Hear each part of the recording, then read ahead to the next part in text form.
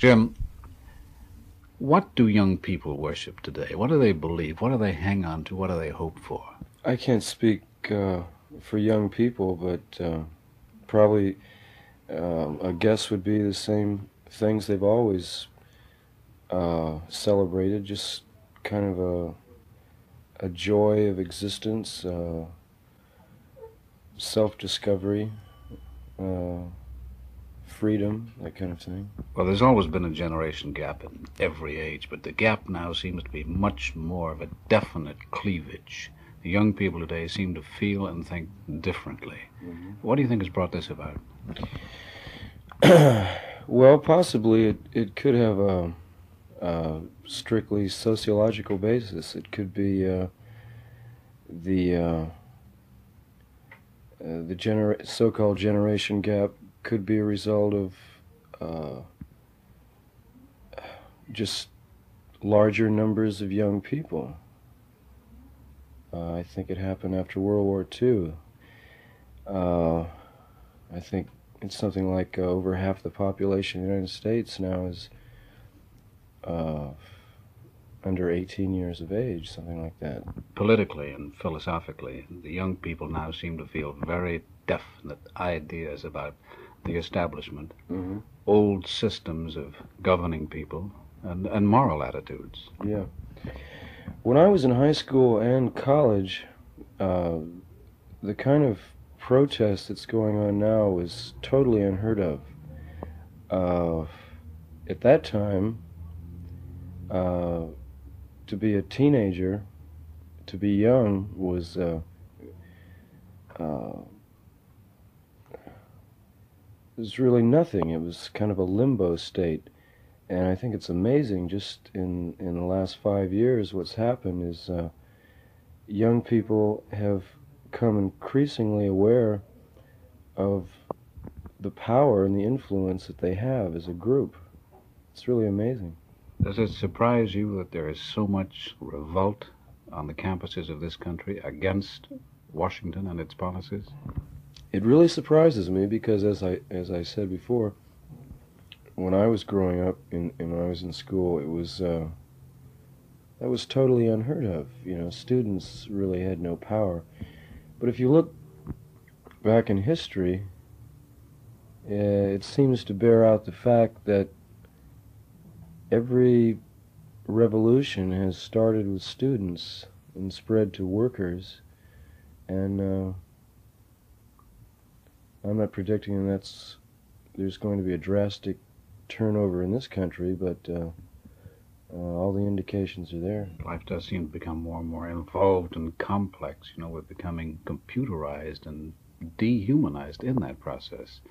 That bugs me. I wonder how it bothers you and your generation. But there does seem to be a, a trend toward a return to a kind of uh, primitive outlook on life, a more tribal attitude, and uh, I think it's a natural reaction to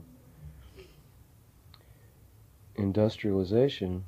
But uh, unfortunately, I think it's uh, it's kind of naive because I think uh, the future is going to become increasingly mechanized, computerized, as you as you call it, and uh, I don't think there's any turning back. It's just figuring out a way to survive and thrive in that kind of society.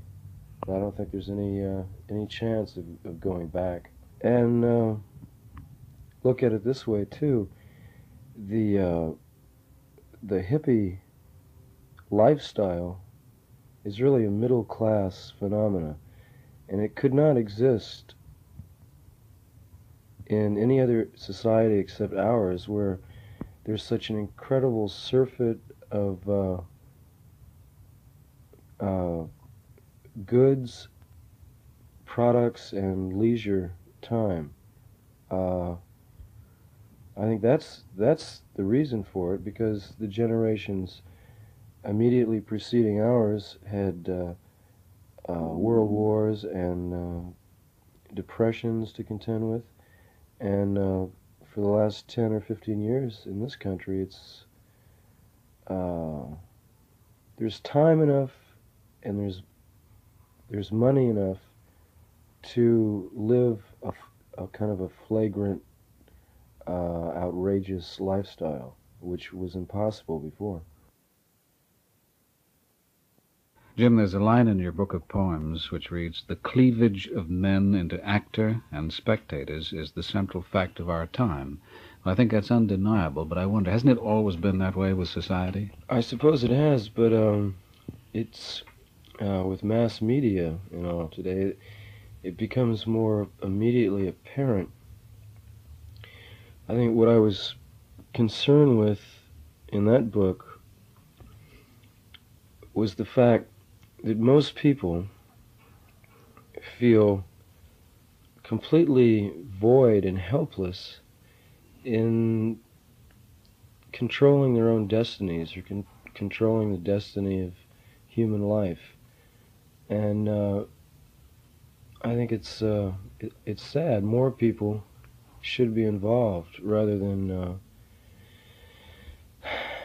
designating all these uh, powers to a few individuals. I think the uh, the average person, whatever that is, should should be a part of it somehow. And I, I think everyone feels that events are just going on without their uh, knowledge or control. I think it's uh, one of the tragedies of our time. I, I suppose it has always been that way, but now it's it's just become so obvious. You know, decisions are made for you in which you have no part of at all. I just lament the fact that uh, so many people are uh, content with uh, living a very uh, quiet, well mannered, orderly life when so many um, obvious injustices, I guess, are, are, going on, and they and they just uh, seem to ignore it somehow, or, or not or not care at all. Just let it happen without ever becoming involved. I think that's sad. Jim, relevant to, to, your theory that people should get more involved in life and thus enjoy it more, you have written a line of poetry which reads, The spectator is a dying animal. Now, isn't that a bit of a contradiction to what you've said previously? No, it's uh, it's concerned with that same split between the actor and the audience. Uh, to me, there's something incredibly sad about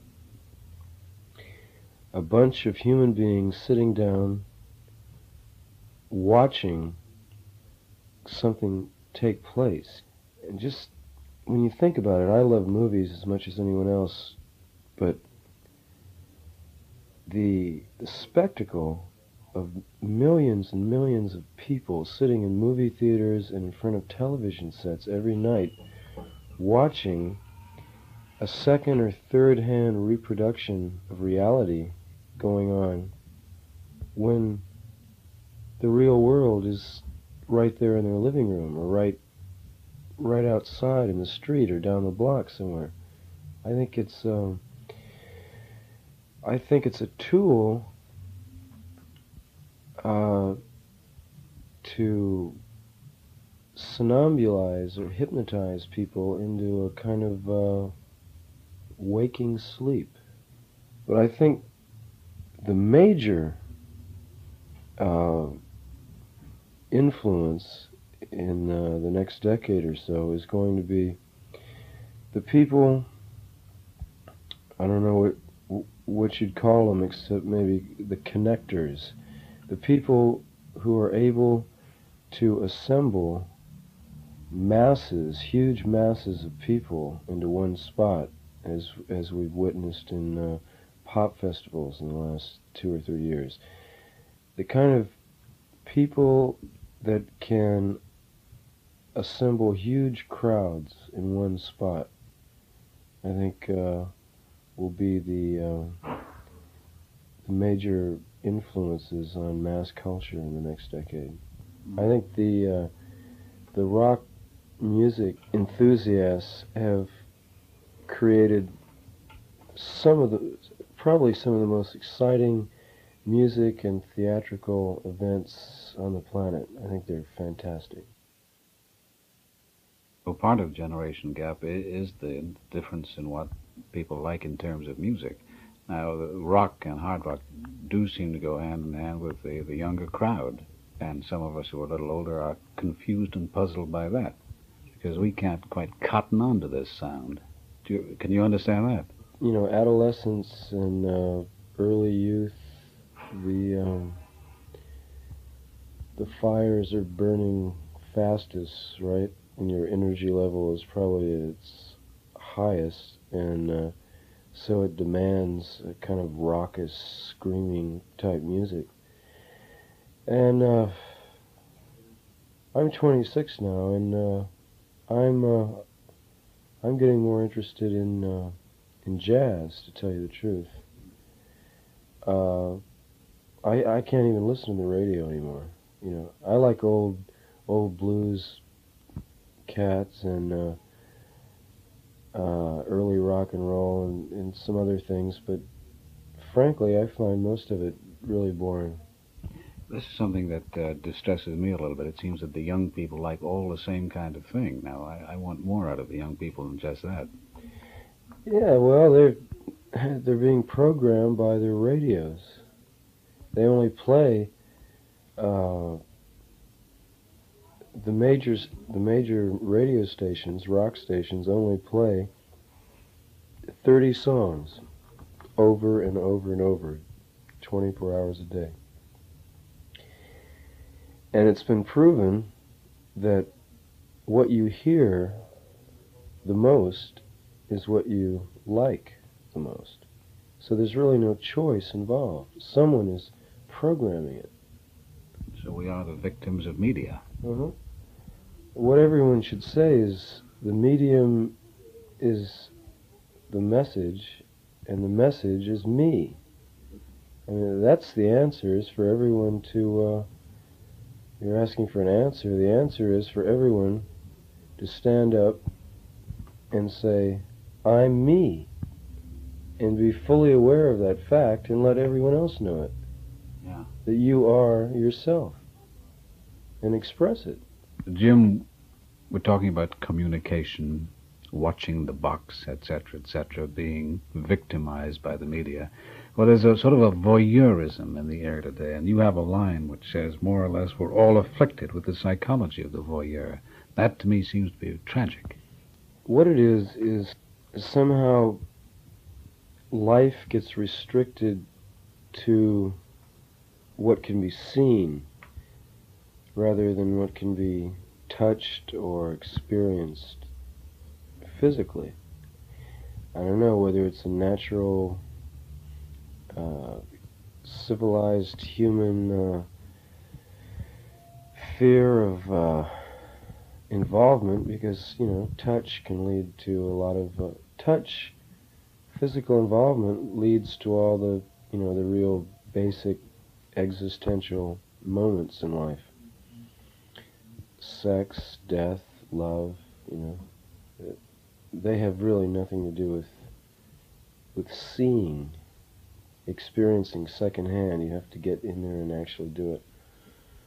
And I, there just seems to be some kind of natural civilized inclination to avoid contact with the nitty gritty of life. Well, we can't talk about life today with, uh, and not talk about sex. Now, th- this confuses me because we have a so-called new morality, and I keep looking at it and trying to figure out what it is. There is, though, you know. I can remember when I was in high school, and even college, which wasn't that many years ago, and uh, sex was still uh, in the Victorian age.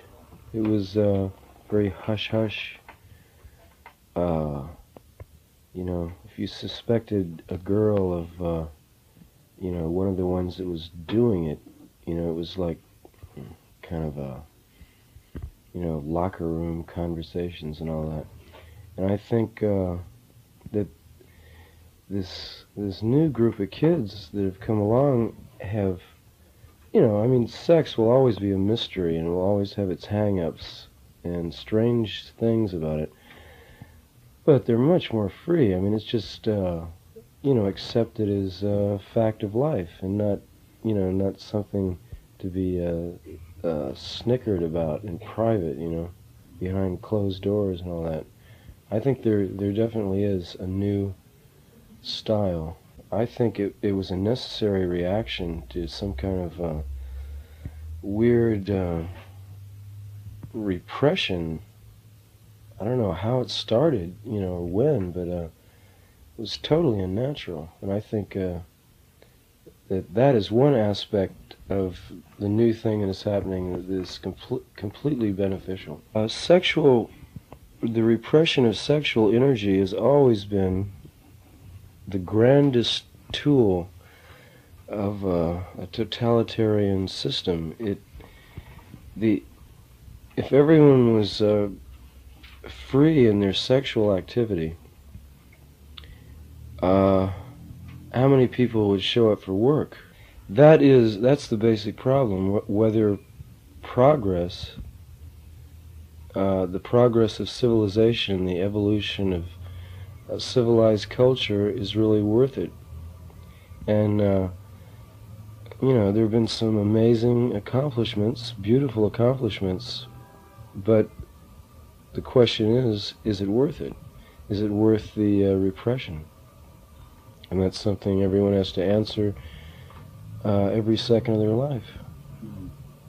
When you when you talk to young people, you, you you know you go through them, you see them all the time. Do you get the impression from them that they think that life is worthwhile, that it's worth living, that it's a ball? I'll tell you the damn truth. I don't know that many young people. I really don't. I mean, uh, I usually I hang out with my contemporaries, and uh, I, I really don't have that much contact with young people. Well, you're 26. You're young to me. Yeah. But I'm over the hill. Do you wish you were 10 years younger? Nah. No. I I think generations now happen every year or maybe every month, you know, rather than it used to be I don't know, 10 years or something like that, but I think there's a a new things are changing so fast there's a new generation every every year at least. Jim, I don't think there's any topic that has sort of defined the young revolution more than the topic of war. I don't know anyone who's really in favor of war, but today we seem to have an entire young generation absolutely opposed to the very idea of it. And probably because they're the ones that always fight the wars. They're the human fodder for the war machine. And uh, there just seems to be no no way around it. There's just no cause. I, I'm sure it, it. I'm sure that the whole basis of the war going on now is economic, and uh, I think uh, young people just got tired of being grist for the mill. But you know, uh, it's a funny thing.